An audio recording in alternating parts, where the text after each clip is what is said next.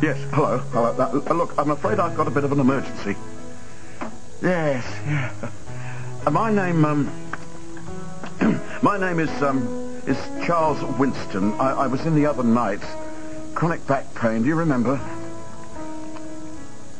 Yes, yes, that's right. Look, look I've got to tell you, I, I, feel a bit like a fool because I... I had those painkillers in my shirt pocket and I'm afraid I, I put them through the washing machine. yes. Yes. uh, so, I was wondering... Uh, what? Come in now? What about an appointment? You're open till midnight. Oh, that's great. It, it really is an emergency.